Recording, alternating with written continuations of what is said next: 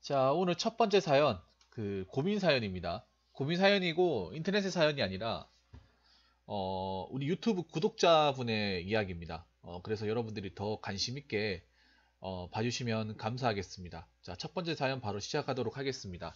지금 이분이 보고 계실지 모르겠지만 혹시라도 보실 거라는 믿음에서 하도록 하겠습니다. 같이 있으면 좋을 텐데 어쩔 수 없죠. 자, 갑니다. 안녕하세요. 저는 미래가 걱정스러운 29살인 여자입니다. 고졸로 사무일을 해서 돈을 후 미래를 위해 보건, 보건계열 학과로 입학했습니다. 실습은 한 이후 적성이 안 맞고 남들과 비교되고 군기가 무섭기도 해서 많이 고민하고 병원에서 일하다가 때려치고 다른 걸 하고 싶다는 이유로 나오다가 더 방황한 적이 있었습니다. 1년에 5번 이직한 분처럼요. 일을 잘못해서 그랬고요. 그 후 어렵게 다시 전공으로 되돌아왔고 뒷담화 앞담화를 견디며 1년 반 일했습니다. 그러다 같이 근무했었던 지인이 보건소 기간제, 기간제 괜찮다고 알려줘서 면접을 보고 왔어요. 그 지인의 가족이 기간제로 일하고 있고요. 근데 와서 보니 첫날부터 같은 부서라고 어울리기보단 점심때 혼자가 되는 경우가 많더라고요. 이건 그려년이 해요. 저는 공무원도 아니고요. 문제는 옆 부서 업무가 제 사수분에게 갑자기 넘어왔고 제 사수 일은 저한테 넘어온 상태인데요.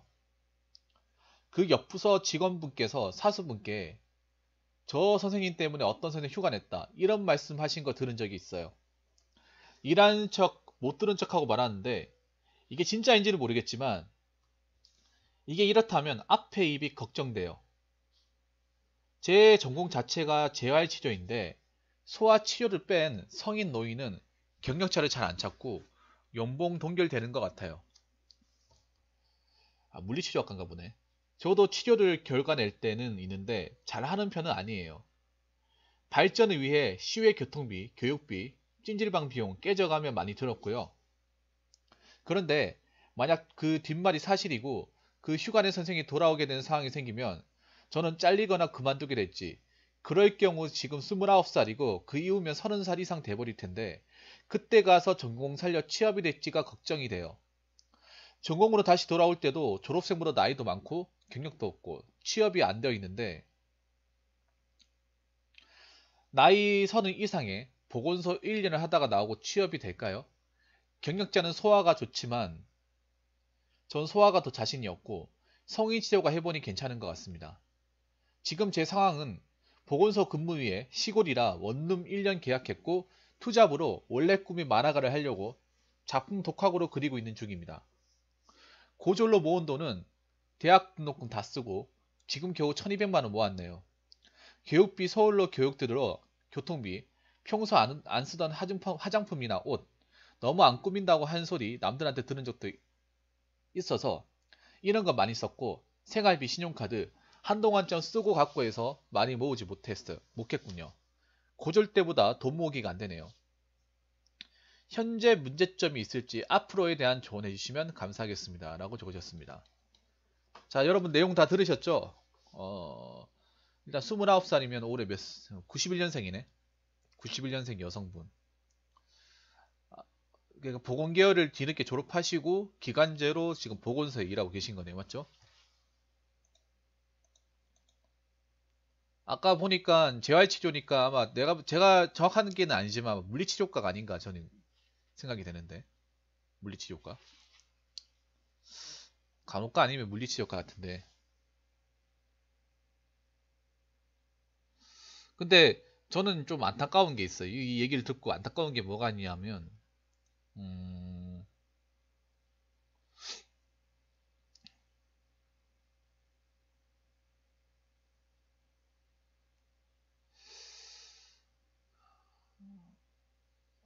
너무 방황의 기간이 길었다는 거.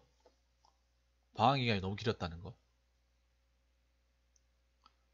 좀 모르겠어요. 뭐 이분이 많이 힘들었으니까 뭐 이렇게 했겠죠. 뭐 이것저것 했겠죠. 뭐 근데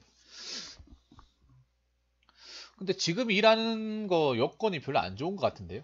제가 객관적으로 봤을 때 여건이 별로 좋지 않은 것 같습니다. 여러분들 어떻게 생각하시나요? 지금 저분이 보건소에 기간제를 일하고 있어요. 기간제. 기간제가 뭐냐면 그냥 원래 원래 그 정규직 공무원이겠죠. 공무원이 있는데 이 사람이 출산휴가나 이제 기타 여러 사유로 장기적으로 자리를 비우게 되면 그 자리에 땜빵을 하는 사람 기간제예요. 이거는 뭐 보건소뿐만 아니라 교사도 마찬가지야, 맞죠?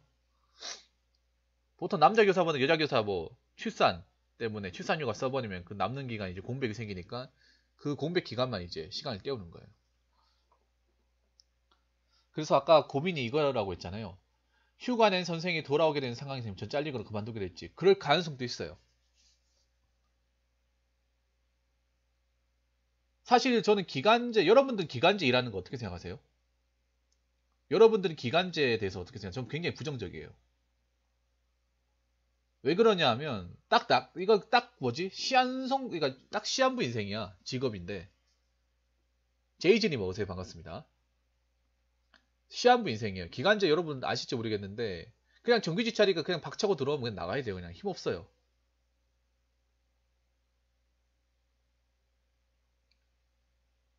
그분들 그렇다고 호봉이 인정되는 것도 아니고, 경력이 막 딱히 인정되는 것도 아니고요. 사실 제가 봤을 땐 그렇습니다. 보건소보다는 어, 님이 잘못 생각하고 난 보건소를 여기 안 들어온 게 낫다고 생각했어요. 포코님 어떻게 보십니까? 다른 분들은요? 기왕 들어올 거면 뭐 돈을 떠나서 정규직이나 직업적 안정성이 보장되는 자리를 들어갔어야 된다고 생각합니다.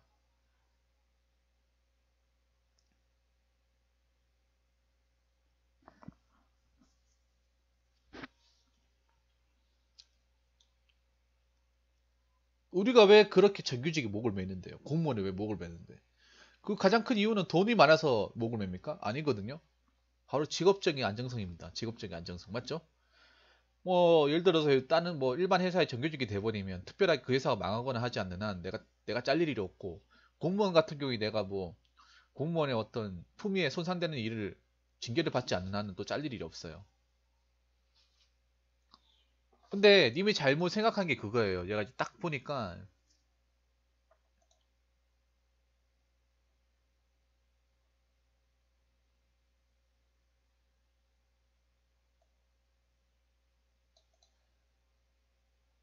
보건소 기간제가 괜찮다는 이게 난 이게 뭐예요? 왜 괜찮다고 하는지 이해가 안 되네. 보건소 기간제 기간제 자체가 안 좋은 건데 맞죠 여러분? 기간제라는 것 자체가 안 좋은 거잖아. 그러니까 시한부 인생이잖아요.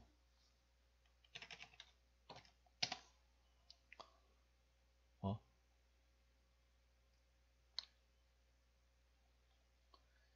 그러니까 누가 정규직에 어떻게 그 자리 원래 자리 그러니까 지금 그러니까 기간제를 쓰는 그러니까 잘 들으세요.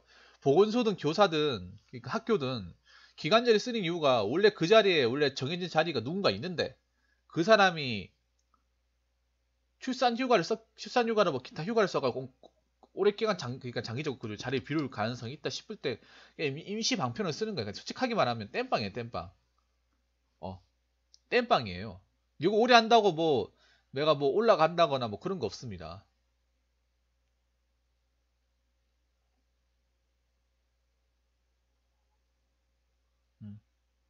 이거 있잖아요. 안녕차차님이 물론 이일 그동안 힘들고 병원에 있으면 여자들은 그 군기 장난 아니고 다 이해해요. 이해하는데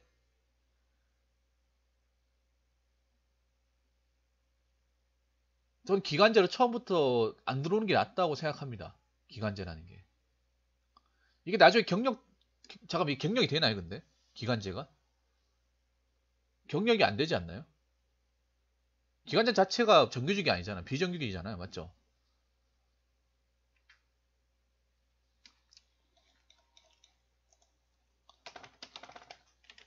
다크템플러님 오세요. 1위 편에도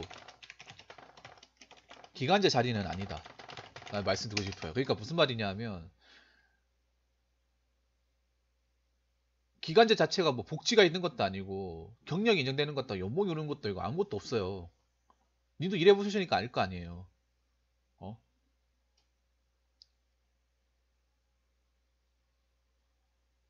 니도 일해봤으니까 그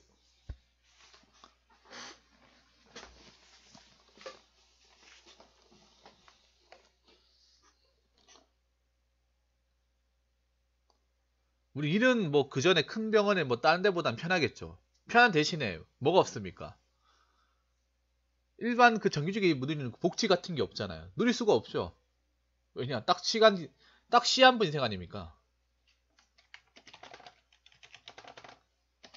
기간제 자체가 시한부 인생이에요, 시한부 인생. 언제 나갈지 모르는. 나가도, 나가도 내가 만약에 원래 있던 사람이, 어? 기간 돼가지 들어오면 그냥 나 아무 군소리도 못하고 나와야 돼요.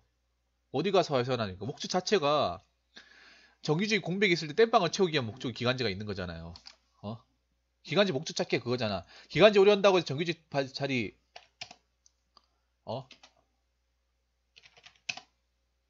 정규직 자리가 보장된다거나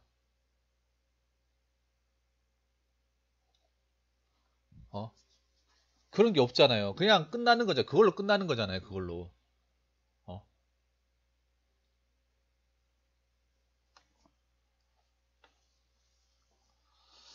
이게 제가 봤을 때는 님이 잘 생각하고 들어오셨어야죠 이거를 어 직장이라는 거는요 제가 세 번째로 얘기할게요 직장이라는 거는 직장의 선택은 나 자신의 기준으로 판단하는 거예요 어? 주변 사람의 기준으로 판단하는 게 아니라 어? 그러니까 그 냉정하게 얘기할게요. 안현차차님이 나이가 늦잖아요. 그러니까 시작이 늦잖아 남들보다.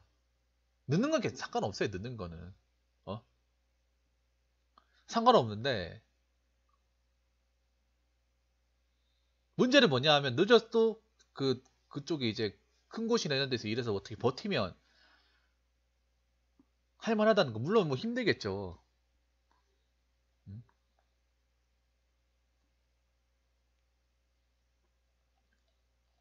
근데 기간제 이거 하게 되면 진짜 또돌이 인생 되는 거예요. 또돌이 인생. 어. 봐봐요. 님 생각해봐요. 기간제 들어와서 뭐 일을 뭐 할만하다고 하지만 정작 중요한 게 미래 설계가 안 되잖아요. 언젠간 이거 자리 나오면 나가야 되고. 어? 그럼 여기서 쏟아부은 돈. 그렇다고 해서 딱히 경력이 되는 것도 아니에요. 물론 님도 충분히 심사숙고해가지고 들어왔지만 아 이것도 아니고 저것도 아닌데 이거는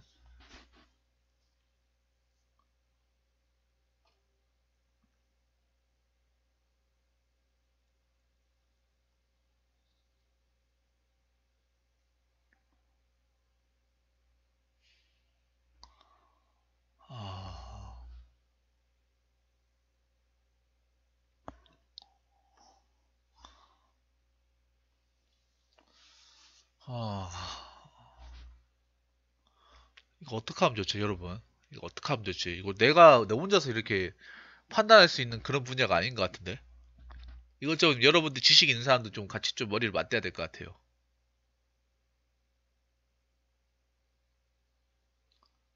자, 재하의 치료인데 소아 치를 뺀 성인 노인은 갱년자를 안 찾고 연민 동기되는 것 같아요. 저도 치료를 결과 낼 때는 있는데 잘하는 편은 아니에요.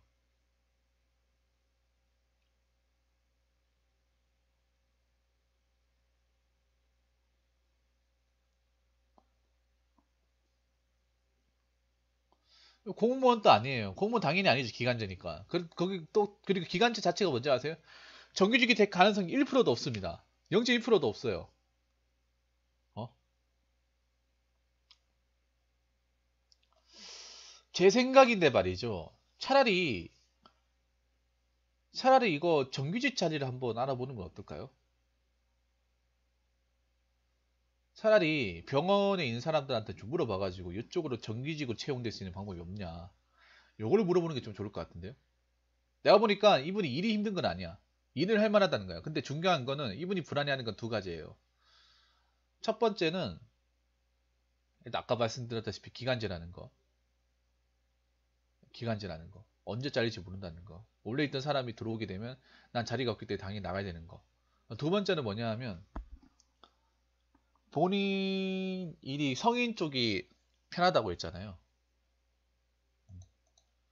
그러면 내가 봤을 때는 어, 님이 만약에 이쪽 일을 하셔야 되잖아. 그러니까 지금 만화 투잡이라고 했는데 이거 솔직히 만화는 수익이 안 나오잖아요. 어. 만화는 제가 봤을 때는 업을 하시면 안 돼요. 왜냐? 이 우리나라 지금 만화 그리는 사람 얼마나 많아요. 잘 그리고 하는 사람들 한틀어 쌓여있잖아. 어, 지금 투잡이라고 하셨는데 솔직하게 얘기하자면 지금 뭔가 만화를 그린다고 해서 뚜렷하게 수익이 나온 건 아니잖아. 맞죠? 그렇다고 그리고 본업이 있기 때문에 여기에 올인할 수도 없고 그리고 올인하기에는 여기 굉장히 위험하고 저는 만화는 만화 그리는 거는 취미 취미로 하시는 게 좋을 것 같아요.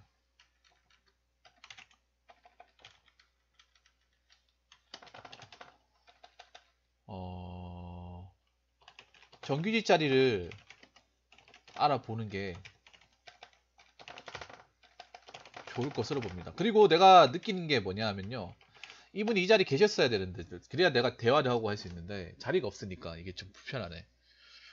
어... 제가 봤을 때는 제가 느끼는 거 있잖아요. 님은 도시에서 일하는 것보다는 도시의 큰 병원에서 일하는 것보다는 시골에 왜 병원들 있죠. 중간 한 7층, 8층 되는 그런 병원. 시골 군단위 병원 가서 일하시는 게 훨씬 더 낫지 않을까 생각합니다. 물론 거기도 힘들 수 있겠지만 어, 어느 정도 이런 시골 문화에 적응을 했으면 여러분 근데 시골 쪽에는 사람 구하기 사람 젊은 사람들 자리가 낫지 않나요? 시골 쪽에는 오히려 간호사 구하기가 더 귀한 걸 알고 있는데 간호사나 약사, 의사 같은 거 맞죠? 왜냐면 젊은 사람들이 시골 생활 안 하려고 하니까 노인들은 그게 치료를 더 많이 요, 요하잖아요. 예전에 이것도 뉴스에 나왔었는데 시골에도 병원에 이제 진료할 수 있는 뭐 시설이나 간호사나 의사가 있어야 되는데 그런 사람이 없어가지고 아무도 안 오려고 하니까 도시에 있으려고 하니까 근데 이분이 시골에 계시잖아요.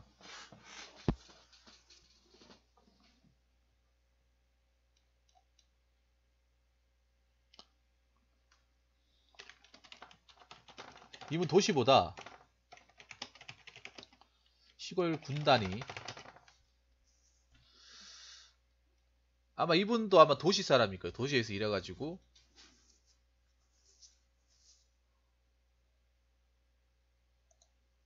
그러니까 지금 중요한 게 뭐냐면 저기에서 일해봤자 그러니까 저기서 지금 보건소 기관지를 일해봤자 님이 님 형편이나 님 미래에 대해서 나아진 게 하나도 없다는 거예요. 그냥 단지 돈을 본다는 거예요. 그냥 돈을 버는데 원래 있던 사람이 되면 그냥 그냥 보따리 싸고 나와야 돼요. 미련 없이 그냥.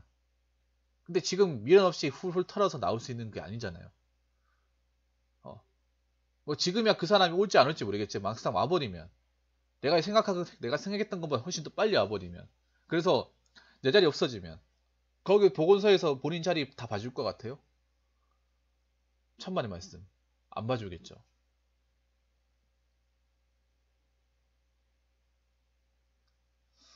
어, 제가 봤을 때는 사람하고 굉장히 치이는 걸 굉장히 좀 두려워하시는 것 같아요. 사람 많은 코이에 막 이렇게 왜 간호사나 뭐 이렇게 군, 군기 있잖아요. 나름의 군기 같은 거. 이런 걸 상당히 두려워하시는 것 같으니까 도시에 있는 병원보다 어, 군단이 정규직 정규직 이분 무슨 일을 하시는지 모르니까 간호사도 아니고 물리치료사도 아니고 뚜렷하게 무슨 일을 한다고 이거 보건계열 학과가 간호사도 들어가고 물리치료사 들어가거든요. JY 최저면 간호사 아니잖아, 맞죠?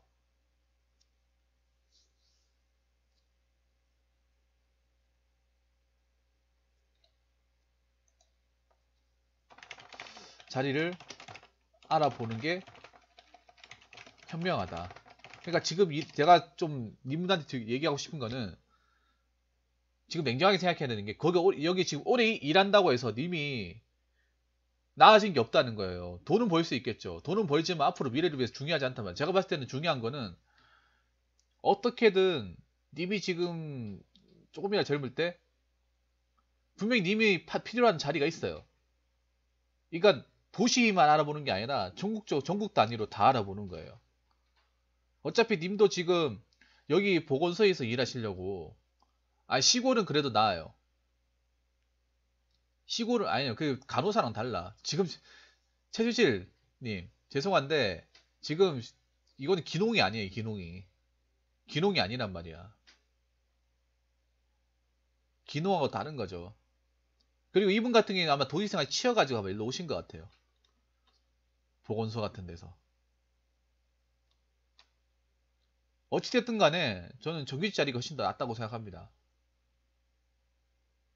왜냐? 님이 이걸로 앞으로 밥을 먹을 것 같으면 이걸로 어떻게든 간에 월급 돈 벌고 월급 생활을 할 것 같으면 이걸로 하시는 게 낫다고 생각합니다.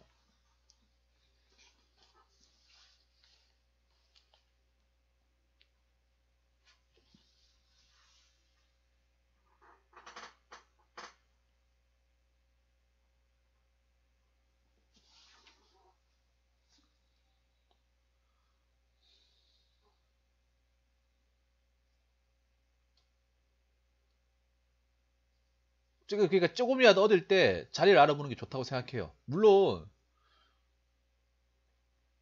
힘들겠지만 알아보는 게 낫다고 생각해요. 그러니까 지금 기간제로 일하는 거는 오래 일한다고 해서 뜻 오히려 의미가 없을 것 같아요. 그냥 시간 낭비일 것 같아요. 차라리 어, 정규직 자리를 알아보는 게 좋을 것 같습니다. 어. 그러니까 제가 말하는 건 도시의 큰 병원 얘기하는 게 아니에요. 시 군단위 그러니까 님이 넓게 보라는 거죠. 어차피 시골로 왔잖아요. 고향 아닐 거 아니에요. 여기 일하시는데. 고향 아니고 자취하시는 거잖아요. 어.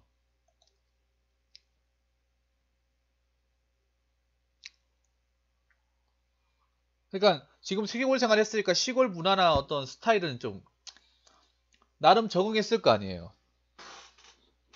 막연하지 않다는 거죠. 이미 생활을 좀 했기 때문에. 그렇기 때문에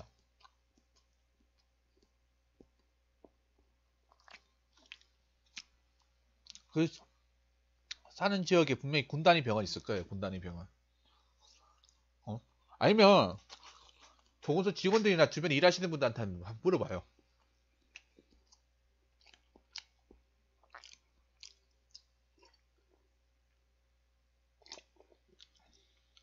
어, 자리 같은 거 물어봐요. 여기 군 단위로 사람 뽑는 거 없냐고 이런 거 아니면 찾아본다거나 어? 그러니까 정규직자리 알아보시되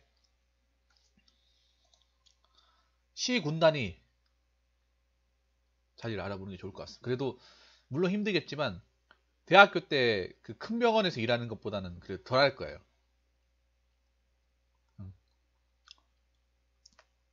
제가 봤을 때 님이 어려워하시는 게 그런 부분인 것 같아.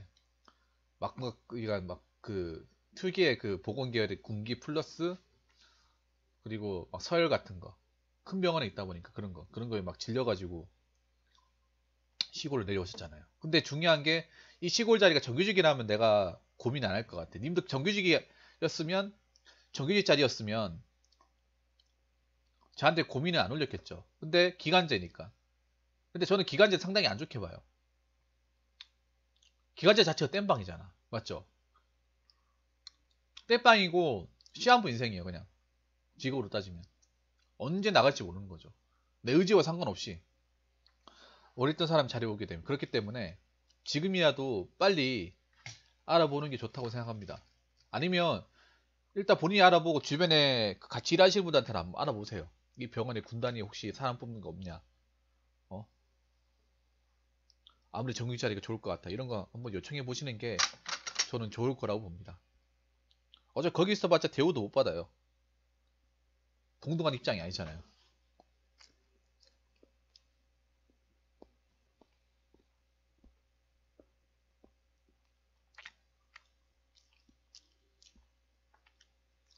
그러니까 지금 조금이나 젊을 때 빨리 알아보는 게 좋을 것 같습니다. 어? 지금 좋든 싫든 간에 아, 어차피 그 일을 가지고 먹고 살아야 되는 거잖아요. 이제 누구한테 기댈 수도 없고 만화는 그리세요. 만화는 계속 그려요. 그러니까 돈을 목적으로 그리지 말고 취미로.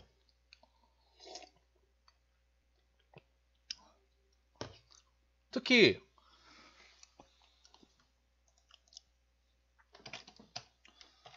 일단 일에 대한 스트레스는 만화로 해석하고 어, 본인이 겪은